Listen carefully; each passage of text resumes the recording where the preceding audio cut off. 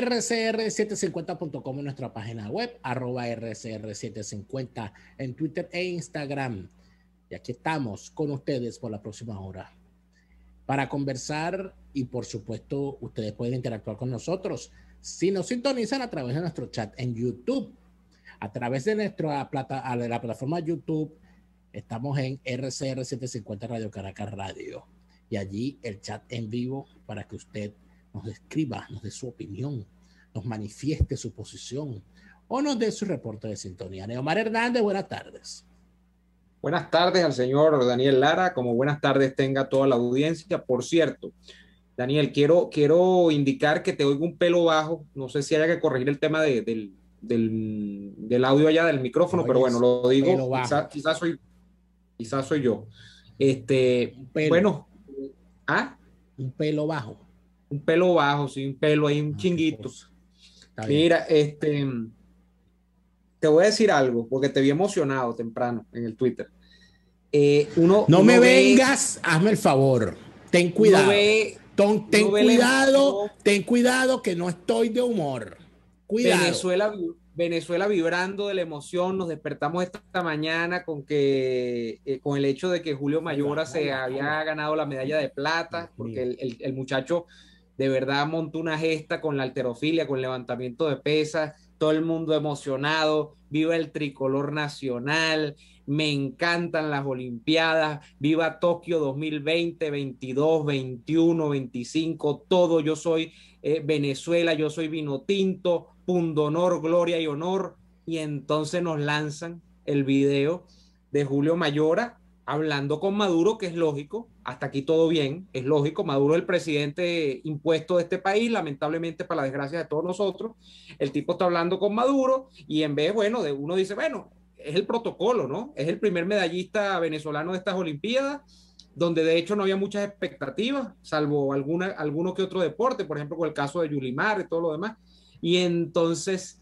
el tipo, como dices tú, sale con ese chorro de baba y le dice a Maduro, que Chávez estaría cumpliendo hoy años y que él le dedica la medalla. Y allí ¡ah! se le apagaron las luces a todo el mundo porque de verdad como le tumban la ilusión a la gente. Y, más que yo ensañarme contra este muchacho, muchacho Mayora, que entiendo el Estado Vargas, ¿no? Ya tú nos contarás.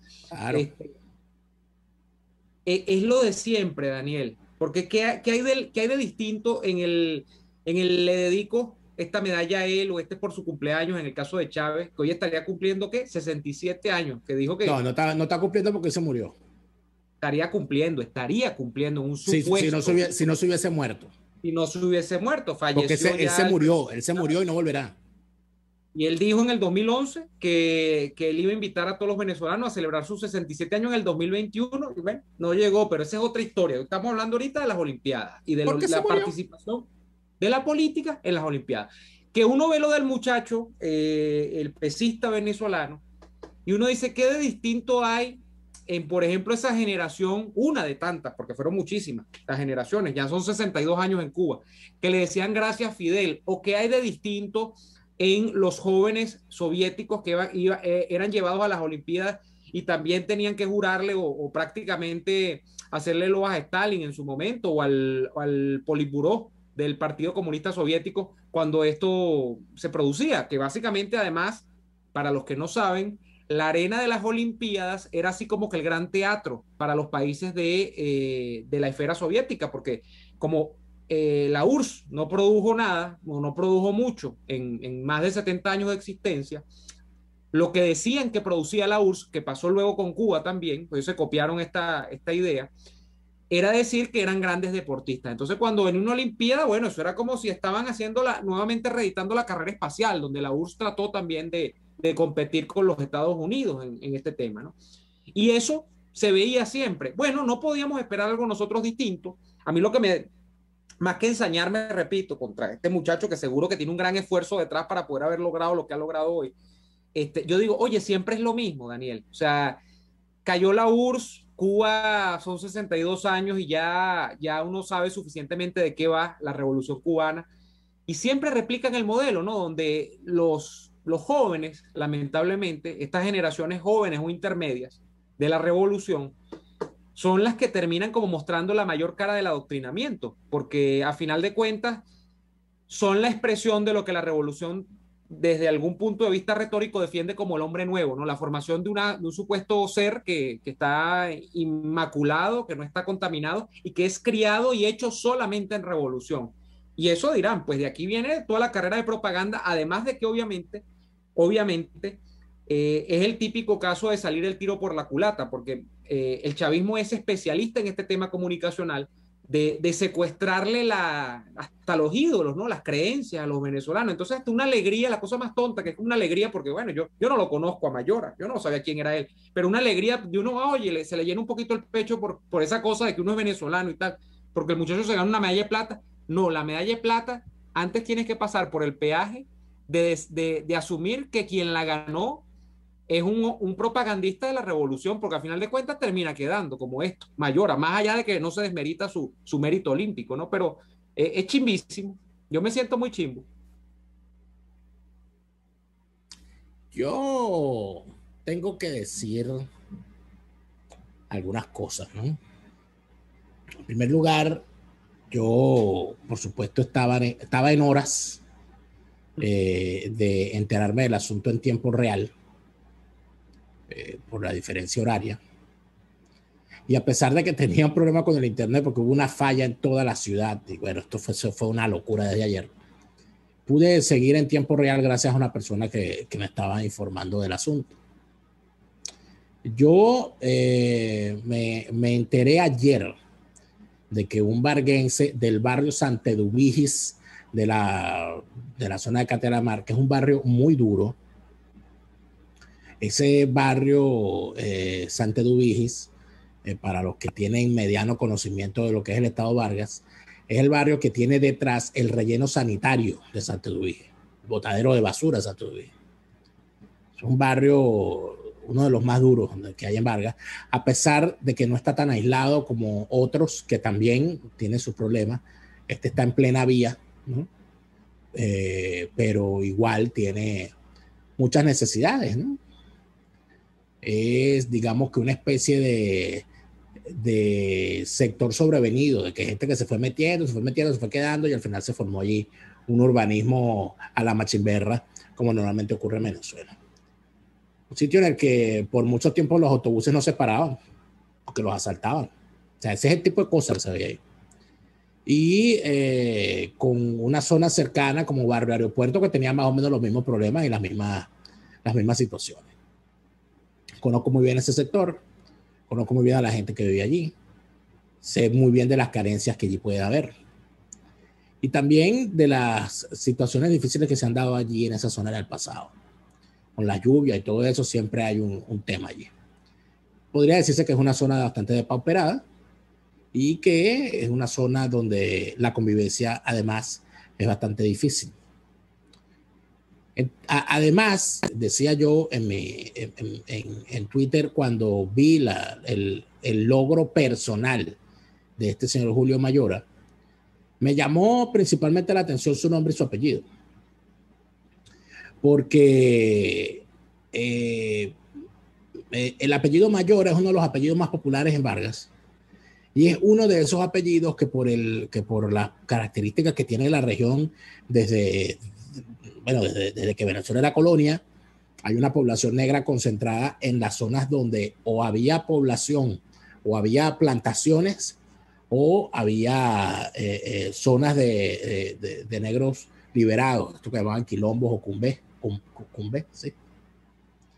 Eh, Caraballeda es una de esas zonas históricas, Naiguatá es otra de esas zonas históricas, la parroquia Caruao es otra de esas zonas históricas, la parroquia Carayaca también, sobre todo en su zona costera de Chichiriviche, eh, Chichiriviche y eh, em, Puerto Maya, ¿no?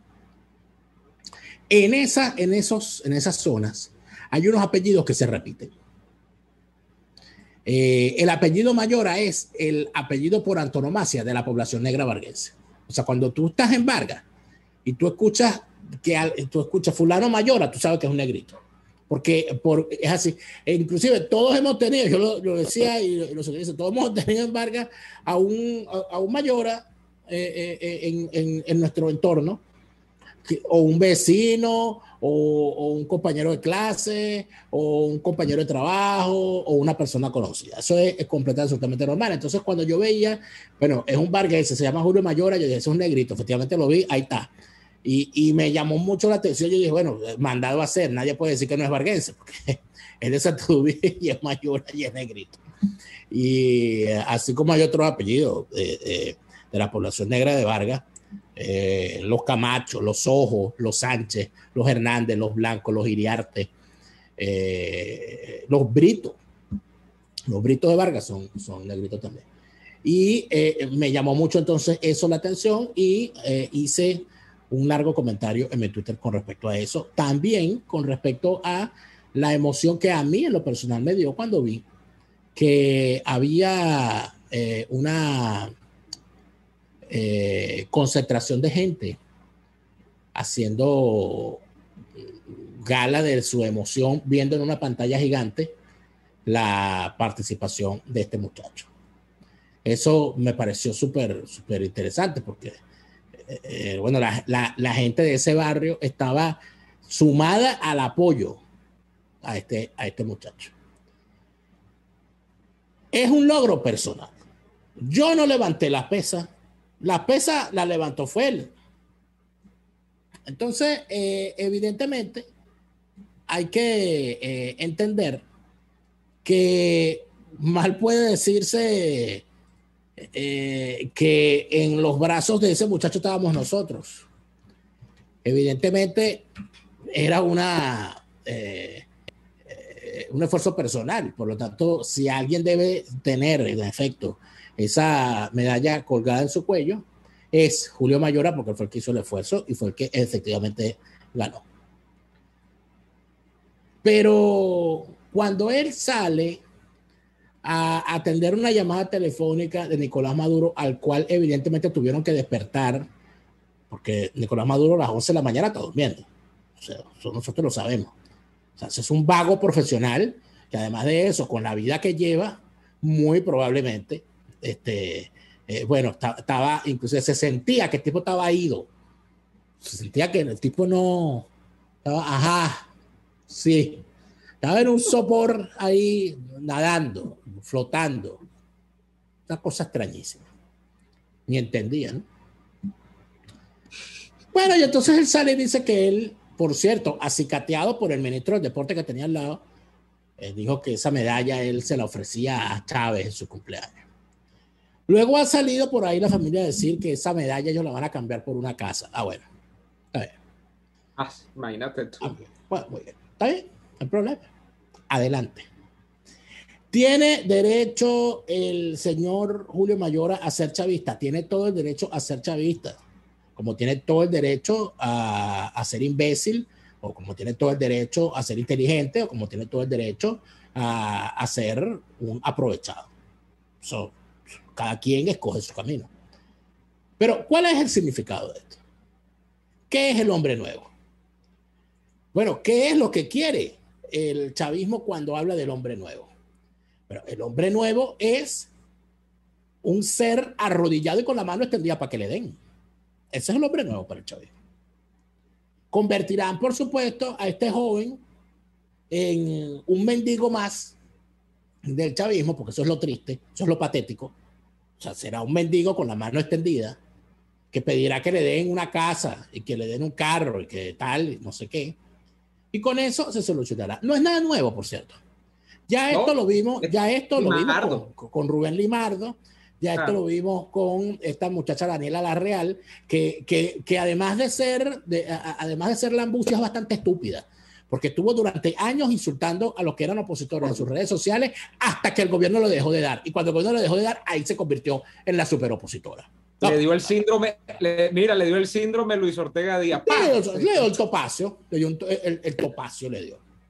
Entonces, un ortegazo. Eh, un ortegazo le dio. Entonces, eh, eh, bueno, Rubén Limardo, esta, esta niña Yulimar, que también cada vez que puede, ay, cuando ven los ojos de Chávez se le saltan las lágrimas, etcétera. Ah, bueno, perfecto. Para adelante. Ahora, lo que no tienen derecho es a decir que son venezolanos como, como yo, o como tú, o como esos que estaban en el barrio, aupándolo para que él ganara. Porque lo menos que debió, yo dije, pero que, porque no se le dedicó al barrio donde nació, con, de que estaba toda esa gente ahí emocionada viendo los niños, chicos. Los niños de ese barrio donde hay una cancha deportiva como único divertimento. El único divertimento, chicos, que hay en ese barrio es una cancha. Se la pudo haber dedicado a los muchachos que juegan en esa cancha o a, la gente de su barrio. Ah, no, se la dedicó a Chávez, que de paso se murió. Ah, está muy bien, está muy bien. Esta medalla es de él, él se la puede dedicar a quien le dé la gana. Claro. Pero mi indignación es mía, mi indignación es mía, yo también se la puedo dedicar a quien me dé la gana. Y yo estoy diciendo que ese señor es un arrastrado, punto, tiene alma de alfombra. Bueno, que sea chavista ya es otra cosa, pero ay, no, yo le dedico. Ah, bueno, está bien. Y que me den mi casa. Ah, bueno, que te la den. Ojalá te la den. Ojalá tengas agua, tengas luz, tengas internet. Ojalá te recojan la basura. Es decir, bueno, para que se la den y tenga todo eso, se le irán a dar en otro país, pero en Pero no sé, en Cuba no será tampoco que se la darán. No, en Cuba tampoco. No, allá no va. entonces, esto, estas son las cosas que me alejan de ti. Vamos, vamos allá al corte. Vamos al corte. Y al regreso, seguimos con esto, porque esta es la noticia. ¿Qué vamos a hacer? Claro. Escucha y así nos va con Daniel Lara y Neomar Hernández, solo por RCR 750 AM. Puedes seguirnos en nuestras redes sociales, en Twitter, arroba RCR750 la radio que se ve. Antojos de pizza, pasta o risotto durante la cuarentena. Lo resolvemos. En Il Sapore de la Nonna tienen delivery a varias zonas de Caracas. Así es, Il Sapore de la Nonna te lleva lo mejor de la comida italiana hasta la puerta de tu casa. Haz tu pedido por el 0212-634-0982 o por el 412-569-9404 y disfruta de todo su sabor. Il Sapore de la Nonna en cuarentena sigue siendo el sabor de Italia en Caracas. Mis amigos, quiero hablarles de Dilab Biodiagnóstica, un nuevo laboratorio clínico con un concepto original. Además de estar dotado con los equipos de la más reciente tecnología y el personal de más alta calificación, Dilab Biodiagnóstica te ofrece ambiente y trato amables y los precios más económicos en todos tus exámenes de laboratorio. Pide tu cita en el 0212 945 5788. Dilab Biodiagnóstica Decisión y confianza en laboratorio clínico. Les estamos presentando Y así nos va, cuando se tiene algo que contar, con Lara y Hernández, solo por RCR 750 AM. Acompáñanos a divulgar las últimas noticias nacionales e internacionales que son tendencia actualmente en el Twitter hoy. No, no, no, entra tú, entra tú. Pero no grite, Neomar, ya entro yo, aquí estoy. Pero Dios mío, no se pone nervioso. ¿Qué pasa?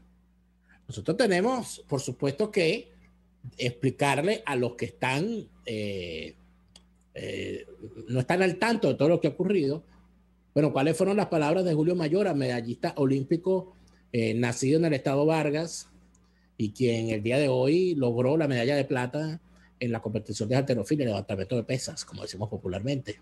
¿Qué fue lo que dijo el Señor? Vamos a escucharlo. Más fuerte que, lo que puede haber en la vida. Que Dios te bendiga, muchachos. Amén, amén, presidente. Y bueno, y, darle un feliz cumpleaños al, a Hugo Chávez. Eh, de verdad que el regalo de esta medalla de plata es para el presidente eh, Hugo Chávez. Bueno, le regaló la medalla de plata a, Hugo Chávez. Al, al, lado tenía al ministro del deporte poniéndole la bandera y diciéndole y soplándole lo que iba a decir, todo aquello, etcétera, etcétera. Y él decidió, en vez de ofrecerle esa medalla al venezolano común que lo vio como con alegría sin conocerlo y sin saber que él tenía la oportunidad de, de, coronarse, o a la gente de su, de su barrio, o a su familia, o a sus paisanos varguenses, o a sus entrenadores, o oye a la Virgen, qué sé yo, la Virgen de, de, del Valle, o a Changó, o no sé qué religión puede tener el Señor, o a Dios, etcétera. Ah, no, el Señor se la dedicó a Chávez. Y por supuesto, solo va a cobrar. No sabemos en cuánto, porque fíjate tú, eh, eh, esta niña, este, a Rubén Libardo le dieron una, un una curul, ¿no? En, la Asamblea Nacional pasada. Así es. a esta niña, la otra esgrimista, la que se tomó la foto desnuda, ¿cómo que se llama ella? Alejandra, Benítez. Allá le dieron un ministerio, le dieron un ministerio, un ministerio donde, bueno, pues. Hizo y deshizo, hizo y deshizo. ya, y, y, hay unos que ah, calladitos, a la, a la chita callando, bueno, están multimillonarios. Ejemplo, Pastor Maldonado, el tipo que en la Fórmula 1 lo que hizo fue chocar y perder, a pesar de su buen desempeño cuando estuvo en las fórmulas menores, es verdad, donde fue un respetado corredor, pero cuando llegó a la Fórmula 1, él dijo, no, no, no, yo no quiero correr, yo lo que quiero son los reales de PDVSA. Igual que otros personajitos ahí también de la Fórmula 1 que andan por ahí. Entonces, uno se pone a ver estas cosas y uno lo que dice, pero bueno, y aquí, eh, ¿esto para dónde va? Entonces, eh, mucha gente dice, y es lo que se está escuchando mucho en las redes, este, a ver si nos ponen en pantalla, producción, por favor Mucha gente dice, y es lo que se está oyendo en las redes, y, lo que se... Eh, eh, bueno, siempre los defensores de lo indefendible, porque el, que es gafo es gafo, no puede hacer otra cosa. Lo que, bueno, pero él está buscando su supervivencia, él puede ser chavista, todos somos venezolanos. Tal. Bueno, mire, eh, parranda de imbéciles. Usted puede pensar lo que usted quiera, usted puede pensar lo que usted quiera, pero no es lógico que usted le pida a los venezolanos que estamos padeciendo la destrucción que Hugo Chávez causó, que nos sintamos representados por alguien que se ganó una medalla y que decide dedicársela al tipo que causó la destrucción del país. O sea, usted puede pensar lo que usted quiera con respecto a ese medallista. Tengo yo el derecho de sentirme ofendido por lo que el señor hizo, porque la persona a la cual él le dedica su, su, su medalla ahora putrefacta es el tipo que destruyó este país. Lo demás, sí, puede abrir al debate todo lo que usted quiera. Si usted considera que la mendicidad, aunque, aunque sea olímpica, eh, tiene, tiene cabida y que el hombre nuevo tiene derecho a extender la mano para que le, le regalen un apartamento, ah, bueno, para adelante, no hay problema, dele, dele para adelante. Tú decías, tú decías que tu, tu indignación es tuya y, y, tú puedes tener derecho a indignarte con quien tú quieras. No, yo, tu indignación es mía y, y voy a explicar por qué, Daniel. Desde el punto de vista generacional, este muchacho Julio Mayora, por supuesto que tiene una edad menor a la mía. De hecho, la edad de Julio Mayora se corresponde más o menos con la edad que tiene el chavismo gobernando Venezuela, 22 años, debe estar por allí. Eh, no sé qué edad tiene, puede que tenga 25, está más o menos allí, ha crecido, ha visto solamente chavismo durante toda esta época. Bueno, eh, esa generación, permíteme contarte, que quizás no es estrictamente la, mía y mucho menos la tuya, Daniel. Esa es una generación que ha sido acorralada en dos frentes en este país. Esa generación fue o expulsada de este país, porque esa es la generación que generalmente demanda empleos, demanda posibilidades para creer que puede avanzar en la vida, en ese camino de la independencia, de la formación de familia, en la este, en el mejoramiento profesional o del oficio en el que tú te desempeñes, porque no necesariamente todos van a ser médicos, ni van a ser abogados, ni van a ser doctores eh, en ciencias políticas, ni nada, sino que bueno, eh, si usted es mecánico, si usted es albañil, si usted, usted va mejorando. Esa generación fue expulsada de Venezuela y si no fue expulsada, es la generación que ha tenido que pagar eh, dentro de Venezuela los costos enormes que incluso cuando estaba Hugo Chávez eran altísimos de la violencia y de la criminalidad en este país. De manera que es un contrasentido contra toda lógica el hecho de que el señor Mayora le dedique una medalla. Él es, él es un enemigo de su generación. Así él sea y se le permita que uno le respete sus ideales, que él hable lo que él quiera sobre la revolución bolivariana, que él diga que Chávez es esto y Chávez lo otro. Eso es un enemigo histórico de su generación, porque los intereses que él defiende, las cosas que él venera, son cosas que le han causado un profundo daño a ese, a ese grupo de millones de venezolanos que tienen entre 20 y 30 años y que han tenido que hacer vida en este país o que luego han tenido que continuar su vida lamentablemente fuera de este país, que son millones también. Entonces, él ha podido tomar, fíjate tú, distintas alternativas, Daniel. La hace mucho en Cuba. Con los atletas cubanos que yo he visto, o sea, tampoco es que soy especialista en el, tema del deporte olímpico, ni cómo hacen las tiranías con, con los deportistas y las delegaciones, nada de eso, ¿no? Pero ¿qué hacen mucho en Cuba? Que los atletas que son obligados, obviamente están también inoculados de este adoctrinamiento típico de los regímenes del socialismo real, eh, como el cubano, los tipos agarran y dan un mensaje que generalmente apunta a que hay una crítica subyacente a la revolución, pero desde el punto de vista del respeto. Entonces se dice, bueno, esto es para que el país se una. Lo han hecho, de hecho, atletas venezolanos en el pasado, que lo que hacen es decir, este, esto es para unir, para hermanar a todo el país y, y bueno, para que también se entienda que hay que invertir en el deporte, porque el y eso es un mensaje subliminal. claro, pero, pero mira, ya cuando tenemos que ir al corte, pero también hay una cosa importante. El deportista cubano se va. Cuando ah, tiene la oportunidad, cuando tiene la oportunidad, se va. Se va. Dice, no, yo no me calo esta, me voy. Y ha habido grandes, bueno, grandes momentos de, de selecciones completas. Hablemos de béisbol otra vez, ¿no? Bueno, entonces, entonces, aquí para dónde vamos. Pero mira, tenemos que ir al corte, pero me acabo de enterar de una noticia que para mí es nefasta. Eh, medios dominicanos informan del fallecimiento repentino del legendario merenguero Johnny Ventura.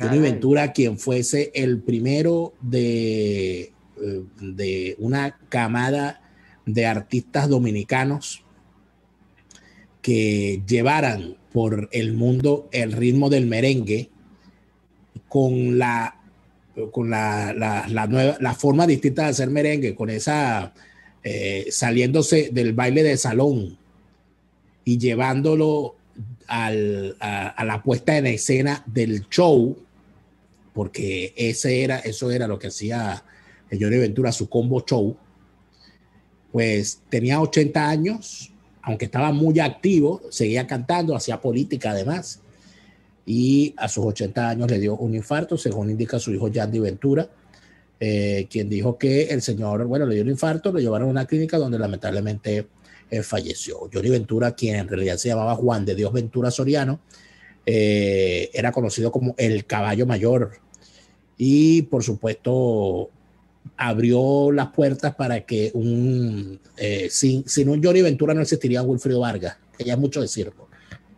Y eso creo que es importante. Vamos al corte y al regreso comentamos un poco más sobre el asunto. RCR les está presentando a Lara y Hernández en Y así nos va por sus 750 AM.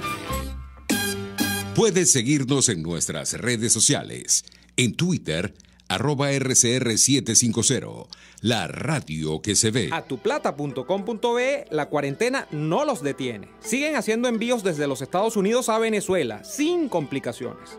Además de eso, buscan tu carga en Tampa, Orlando y Miami sin ningún costo adicional. Sí, sí, no tienes que moverte. Van hasta la puerta de tu casa y se encargan de todo tuplata.com.be con promoción de servicio de pick-up gratis. Hasta en la cuarentena tuplata.com.be. En los envíos te da la tarifa más baja y en el menor tiempo. RCR 750 AM. Porque lo bueno une.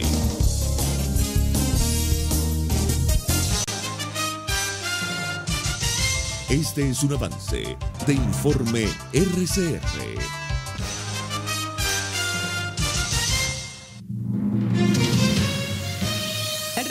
Consejo Nacional Electoral designado por la Asamblea Nacional Oficialista, Enrique Márquez, indicó que el único camino para solucionar los problemas del país es el voto. Para solucionar nuestros problemas, pese a lo imperfectos que podamos creer que en nuestra situación no hay otro camino sino el de la democracia y el del voto. El pueblo venezolano no tiene en sus manos otra herramienta que no sea el voto.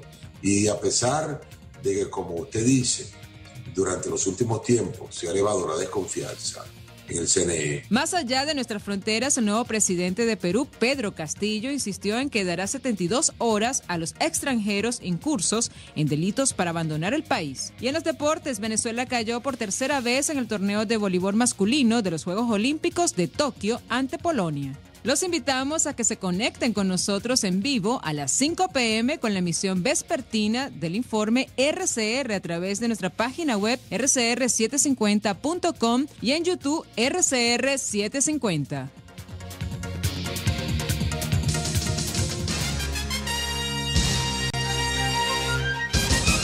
RCR 750 AM, porque lo bueno une. Estamos escuchando Y así nos va con Lara y Hernández por RCR 750 AM. Bien, de vuelta en Y así nos va y, seguimos con esto, además de que comentábamos la noticia del fallecimiento de, Johnny Ventura en la República Dominicana.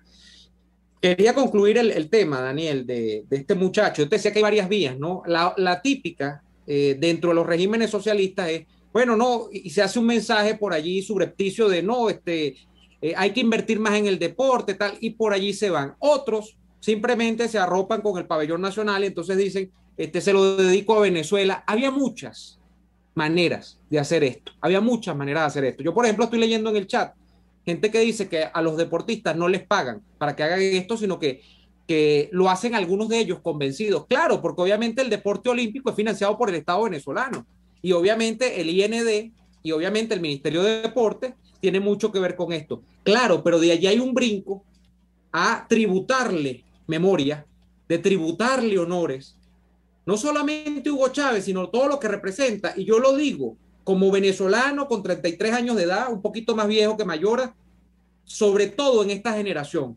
O sea, esta generación, lo último que tiene que hacer en la vida es decir que la revolución bolivariana fue buena para Venezuela. O sea, a mí me pueden hablar, no sé, este, personas de la tercera edad resentidas que digan que para mí no tienen sentido, porque yo me he puesto a analizar la historia contemporánea de Venezuela en los últimos 50 años y mira que he pensado, Daniel, eh, que en el tema de las oportunidades, de la movilidad social, este, yo no veo cómo hay gente que dice, no, es que a mí me oprimieron, o sea, como si esto era, no sé, los Estados Unidos en los 50 o los 60 con el problema racial o el problema de la integración después de la guerra de secesión, no sé, de, Estados Unidos hace 200 años. O sea, ese tipo de discursos que no calan en lo que realmente fue Venezuela, de gente que no estudió porque no quiso, o de que gente que no, no, no, no echó adelante en la vida porque no quiso. Y lo digo viniendo de una familia de gente que viene de provincia y que algunos de ellos, mis abuelos, quizá lograron medio aprender a leer y a escribir porque era otra Venezuela, pero gente que monta unos discursos en los que realmente no hay calado en la realidad. Bueno, como un joven de esta época, con todos los desarrollos que, han venido experimentándose en América Latina y en el mundo en los últimos 20, 30 años, que es el espacio temporal que le ha tocado al chavismo protagonizar, va a decir que hay algo que tributarle a Chávez. Eso es lo que yo resiento en este muchacho. No que él sea chavista, sino que él se precie de serlo y, que le dedique una gloria que es personal, repito, y que pudo despachar, porque esos actos protocolares siempre están, repito también, de, otras, de otros modos, dándole un mensaje como a título de que su generación le debe algo a Chávez. No, todo lo contrario. Tú, tú, tú te ganaste esa medalla, Julio, a pesar de Chávez y del chavismo, a pesar de Maduro, por tu esfuerzo, por tu perseverancia, porque a pesar de las condiciones que incluso tiene Venezuela, bueno, tú lograste ganarte esa medalla. Hay que aplaudirte eso, sí, pero no puedo conectar ese discurso de, eh, que, que compromete a una generación. Daniel. Mira, eh, sinceramente me da igual, ¿vale? Da igual que se copa su, medalla, ahora le de su casa todo aquello. Pero como uno conoce la historia, bueno, no tiene que empezar aquí a revés. La generación de mis padres vio cómo todo el país se volcó a abrazar y a alzar en hombro al Morochito Rodríguez aquel boxeador venezolano, ¿no? Aquella cosa. Eh, cómo se rodeó a De Bonis cuando ganó en el atletismo, cómo se trató a Rafael Vidal y a su generación, incluyendo Alberto Mestre, por cierto, que el hijo de Alberto Mestre está compitiendo, me dio, eso sí me dio mucha alegría verlo porque eh, Alberto Mestre, yo, lo recuerdo de cuando inclusive fue comentarista en, unos Juegos Olímpicos, Alberto Mestre era ese equipo de jóvenes que estuvo en, Los Ángeles 84 y que se trajeron eh, inclusive un récord y, Rafael Vidal se trajo una medalla, etc. Eh, ¿Y qué pasó con ello? Bueno, el que, el, el que fue inteligente, como Rafael Vidal en paz descanse, en mala hora su muerte y, de verdad su asesino, ojalá que no tenga descanso jamás en su alma. Eh, Rafael Vidal se agenció un futuro como, como comentarista y para el momento en que es asesinado era uno de los, de los comentaristas más respetados y más queridos del deporte venezolano, por cierto en RCTV. Eh, y así ha, ha, habido otros deportistas que se han buscado ese camino. El Morochito Rodríguez rápidamente fue abandonado. Pero es que ese abandono tiene mucho que ver también con la propia actitud del deportista.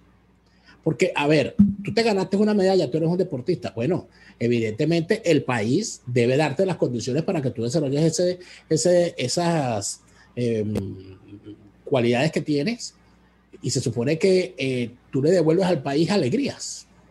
Eso es lo que le devuelves al país. O le devuelves al país emociones, porque a veces también la frustración del deportista es la frustración del país, porque la gente dice, oye, mira, no lo logramos. Ni hablar de, lo, de aquella generación, el famoso Dream Team venezolano, ¿no? La generación sí. aquella que, que logró enfrentarse de tú a tú con el Dream Team gringo, pero nosotros tuvimos un Dream Team venezolano. Y ahí, por ahí baloncesto. están, de baloncesto, claro, y por ahí están todavía, y pueden echar la historia. Eh, por ahí está Rostin González, por ahí está Iván Olivares, por ahí está Gabriel Estaba, por ahí está de ellos. Entonces, eh, eh, ya uno de esta película no la ha visto. Ya uno de esta película la ha visto.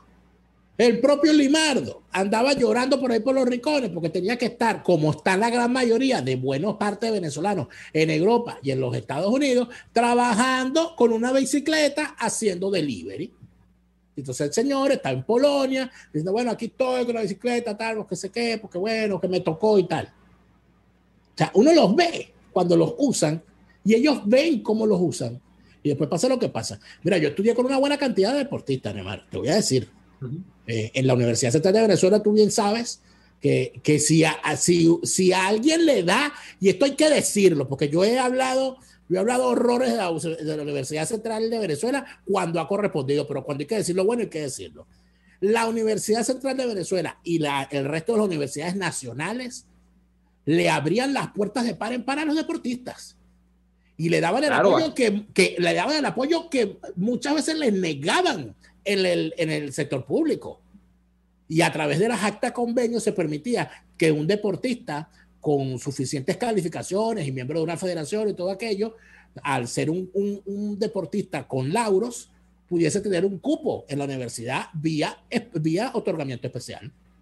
Yo estudié en la Escuela de Estudios Internacionales con eh, muchachas que formaban parte del de equipo, la gran mayoría mujeres, por cierto, formaban parte de, de, el, de la selección juvenil de natación por cierto, saludos a mi colega y amiga, una de mis mejores amigas desde ese, tiempo, Dayana Vázquez, que tenía varios récords panamericanos y suramericanos, que fueron recientemente, hace, unos años, vi que una muchacha venezolana que eh, eh, eh, superó la marca y fue Dayana Vázquez la que la felicitó, porque la marca era de Dayana, otra venezolana la superó en un juego suramericano juvenil, creo que fue. Claro.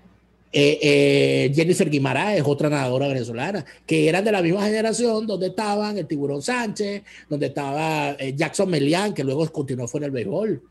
La, uh -huh. la, buena parte de la selección juvenil de básquet femenino, que eran, bueno, que eso sí era un equipo, donde estaba mi querida amiga también de aquellos tiempos, Natalie Castillo, donde estaba Romy, donde estaba esta niña eh, Mayuri Rivero, donde había unas muchachas que estaban todas en la escuela de estudios internacionales y uno iba a los juegos y uno sabía el esfuerzo que hacían y uno sabía y ellas echaban los cuentos de cómo las trataban. Y se graduaron la, mayor, y se graduaron la mayoría de ellas. ¿no? Todas, todas son mis colegas, bueno. vale. Qué bueno. todas son mis colegas. Había un muchacho que era boxeador, peso completo, el gordo Rancés. Había otro que era de la, de la selección de softball, que yo decía, aquí eché el cuento el otro día, Daniel Lima. Este, y así. Entonces, eh, eh, eh, uno sabe los esfuerzos. Era un, gran programa, hacen. era un gran programa de la UCB, Daniel, ese de las actas convenios de, de, deporte, de deportistas. Pero no nada más de la UCB, no nada más de la UCB. Mira, que cuando se hacían los juveniles, tú nunca fuiste a unos juegos juveniles no. universitarios. Mira, no. cuando tú ibas a los juveniles te encontrabas con aquella selección que venía de la Universidad de Oriente en fútbol.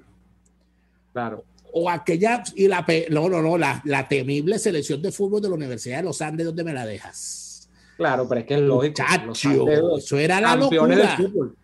y había instituciones privadas, Neomar, o instituciones más pequeñas, como el Colegio Universitario de Administración y Mercadeo, que tenían tremenda selección de básquet femenino, ¿vale? Siempre se colaban en la final. Eh, el Colegio Universitario Francisco de Miranda también, también tenía, o sea, había, o sea, no me pueden decir que aquí en Venezuela no había apoyo al deporte, lo había, vale, lo había. Pero el deportista, evidentemente, como, eh, porque dicen, no, bueno, el apoyo que se le da al deportista de los Estados Unidos, al deportista de los Estados Unidos se le da beca para que estudien. Es, lo primero, de hecho es lo primero. Eh, yo, lo, yo, lo, sigo muy de cerca, Daniel, con el béisbol, pero también lo hacen.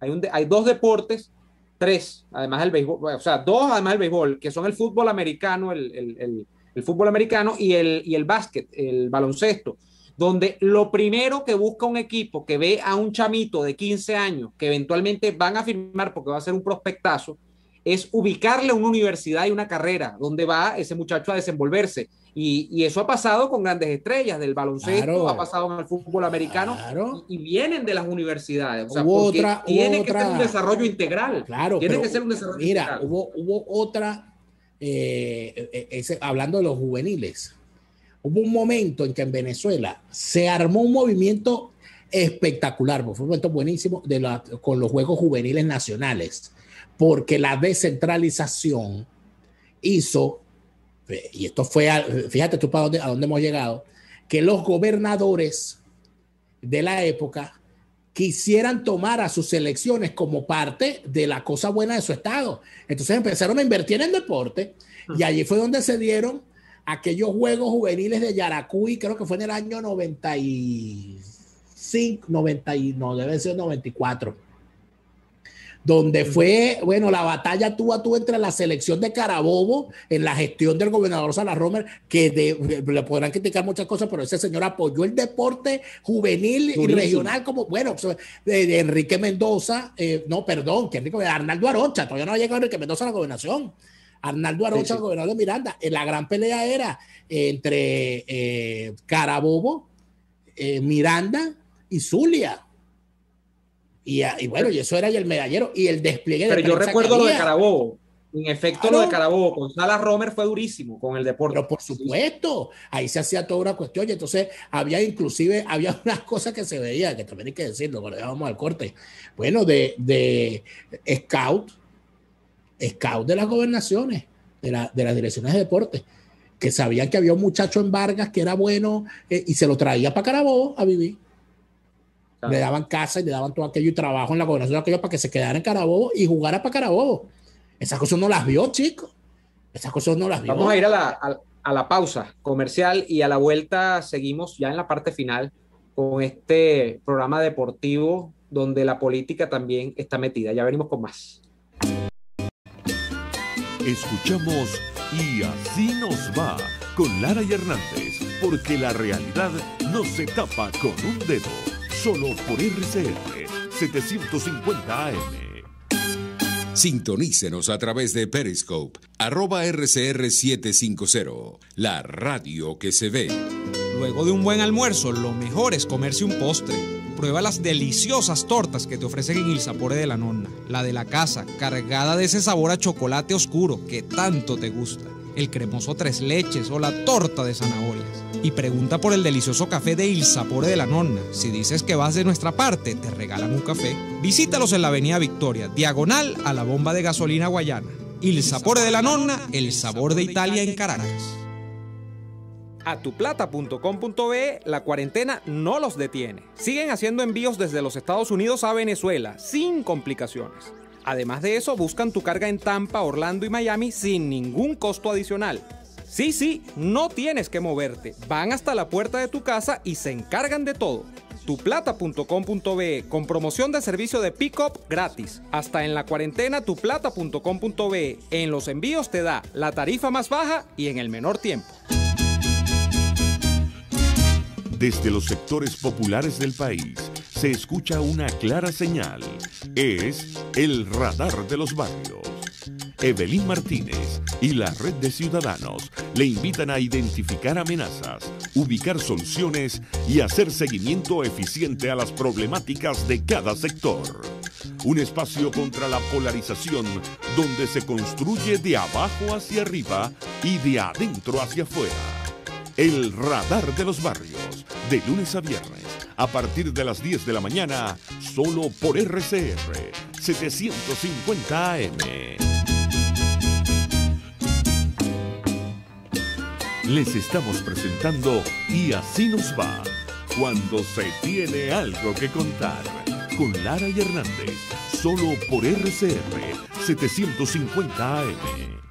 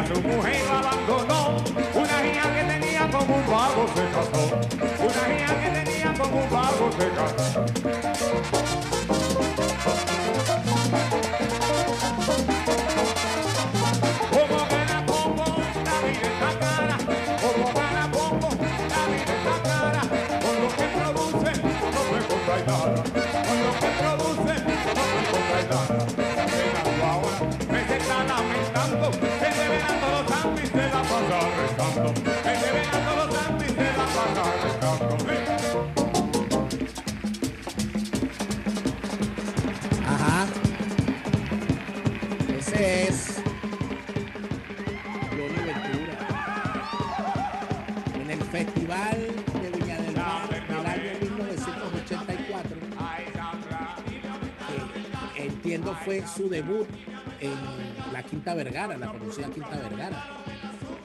Y la presentación que están viendo es cuando, lo, cuando el, por petición del público regresa a la, a la tarima. Porque el tipo había, había puesto a bailar a la Quinta Vergara y fue tal, de tal tamaño su presentación que como es tradicional allí en ese festival, bueno, por petición del público el tipo tuvo que volver para para el escenario. Lo que hacía Johnny Ventura, eso, que hoy es muy común, cualquiera que ve una orquesta de merengue ve eso, pero eh, esa, esa presentación, a los cantantes bailando, a los cantantes haciendo un show, porque se llamaba Johnny Ventura y su combo show, o Johnny Ventura y sus caballos, pero él decía que era el combo show de Johnny Ventura eso de cantar y bailar a la vez en el escenario y hacer todo ese show bailando y poniendo a la gente a bailar y haciendo todas las moriquetas y todas aquellas cosas, el primero que lo hace es Johnny Ventura. Y después que Johnny Ventura hace eso, fue imposible, imposible para ningún merenguero en el mundo eh, estar cantando como pasaba antes, eh, tieso con el micrófono enfrente. Allá había que bailar. Por eso cuando usted ve usted ve las orquestas de merengue, se da cuenta que todas las orquestas de merengue lo que han hecho después de Johnny Ventura es imitar al combo show de Johnny Ventura. Johnny Ventura lamentablemente ha fallecido el día de hoy a los 80 años. Johnny Ventura tuvo una vida prolífica en cuanto a la, eh, a la música. Eh, fue un defensor del género musical, creador además de un género, de, un subgénero partiendo del merengue cuando unió el merengue con el merecumbe y armó aquello llamado el merengue. Imagínate tú. Eh, bueno, que alternó, alternaba mucho, por cierto, eh, cuando, cuando eh, Celia Cruz iba a, Dominicana, siempre alternaba con él. Una, había un paralelismo, parecía que eran vidas paralelas, por, por lo menos en lo que uno no sabía cuál de los dos había inventado primero la cosa. Oscar de León con, con Johnny Ventura. Hay varios videos en YouTube. Porque lo que hacían era más o menos lo mismo. Porque Johnny Ventura bailaba, bailaba demasiado bien en el escenario y Oscar de León es un bailarín natural. eso que hacía, eso que hacía Oscar de León, lo que pasa es que, claro, Oscar de León eh, eh, vino después de, de, eh, de, Johnny Ventura, porque Oscar de León empezó ya como a los 30 años, tenía casi ya cuando la arranca su carrera. Pero, pero eso que de Oscar de León bailando con Vladimir, haciendo esos pasos y esas cosas, todo aquello, eso también, eso marcó, eso marcó una época, eso marcó un, estilo, porque el, cantante era antes como era Barbarito 10. E, ese era, ese era cantante, para empezar porque no se veía, sino que se escuchaba. Entonces el cantante no necesitaba bailar porque el cantante lo escuchaba era por radio.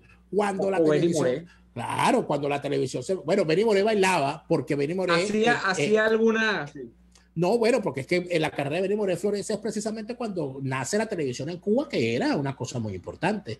Pero, pero el cantante tradicional, bueno, era, Barbarito 10, la Orquesta Aragón, gente que no, no tenía necesidad de bailar, porque ¿para qué? Si no lo estaban viendo. Eh, eh, la, la, los pasos de la Villa Caracas Boy muy limitados. Muy limitados, porque eso no era. Hasta no que era- se convierte en un espectáculo audiovisual completo. cuando El- el- por Johnny Ventura. O sea, es Johnny Ventura que convierte eso. Sabes que yo, Daniel, yo veo ya cuando tenemos que irnos, a Johnny Ventura, definitivamente, si, si lo tengo que describir, es como el, es el precursor, Daniel, de eso que fue en los 80, muy a mi pesar, yo soy, obviamente lo sé, yo soy más salsero que merenguero, aunque me gusta esta, me gustan los ritmos dominicanos también. Eh, es el precursor de la oleada que desplazó en las preferencias de los latinos y sobre todo los venezolanos, hablo por mi país, eh, a la música de la fiesta, o la música, por supuesto, la música de la fiesta en Venezuela mm, puede pasar el tiempo y siempre va a estar billo, ¿no? Y va a estar los melódicos. Pero en Venezuela el, el boom de la salsa es desplazado, y yo creo que en toda América Latina, por esa oleada de los grupos de merengue, bueno, y Wilfrido el más, eh, de los 80, que no hubiesen salido, como tú dices, si no hubiese existido un Johnny Ventura que, por supuesto, por motivos etarios y por motivos de la, de la propia carrera artística, fue antes que todos ellos. Claro. Y, y de allí toda una cantidad de solistas, ¿no? Que Mira, y, de- y muy, y respetuoso. El señor era muy respetuoso del género. Inclusive él había armado un movimiento. Imagínate tú. A mí me pareció comiquísimo. Él armó un movimiento de merengueros Hmm. para exigirle a los medios de comunicación que dejaran de llamar merengue a un nuevo género llamado el, eh, el merengue mambo. Porque él decía, y fue un escándalo. Pero un escándalo. Eso no era merengue. Claro, él decía que eso no era merengue porque la base rítmica no era la misma y por lo tanto no podían llamarlo merengue. Y Claro. eso fue una polémica. Imagínate tú la polémica que había por el tema del merengue. ¿Por qué? Porque, bueno, porque el merengue y la música es uno de los, de los sustentos de República Dominicana. Mira, y, o- y otra cosa, y otra cosa ya para irnos de Johnny Ventura, también precursor, es, el, es el- esa actitud de la que alguna vez hablamos nosotros, que ocurre mucho en la dominicana, de los artistas que brincan, y ha pasado recientemente, pero de manera más infausta con Bonnie Cepeda, de la, de la, de la- del arte o del mundo de la música y del merengue en específico a la política. Johnny Ventura tuvo mucho éxito. Bueno, pero en fue eso- diputado en- y fue alcalde. Sí, claro, pero en eso, en eso fue también pionero. Porque Eso luego, digo, porque él se en metió en eso, Fernandito Villalona se metió en eso también. Wilfrido Vargas tuvo ciertos acercamientos. Wilfrido Vargas fue guerrillero, ¿tú sabías? Eso me enteré. Ah, y era un tipo, y es todavía un tipo muy, muy sensible por estas cosas. Y bueno, pasa lo que pasa. Pero bueno, amiga y acabó ha esto. fallecido eh, Johnny Ventura, que también era abogado, por cierto, me recuerda que él era, él era, o sea, no era- no era- y era muy cómico. Yo recuerdo que una vez un, un periodista le preguntó, ya país no, le preguntó, señor Johnny Ventura, pero usted es abogado y usted, y, y usted no ejerce, dice, y el tipo le dice, claro que ejerzo, ¿quiere que te meta preso? Nos vamos por hoy. Vamos por hoy. Gracias a todos ustedes por estar allí. Nos acompañan, por favor, mañana en una nueva jornada de lucha por la opinión libre y la información transparente. Hasta entonces. Por hoy termina y así nos va. Síganos en Twitter en arroba y así nos va, arroba Delara F y arroba Neoadolfo. RCR 750 AM. RCR presentó y así nos va. Una producción nacional independiente de Neomar Hernández, certificado número 25178, para dar cumplimiento al artículo 14 de la Ley de Responsabilidad Este programa fue presentado por Il Sapore de la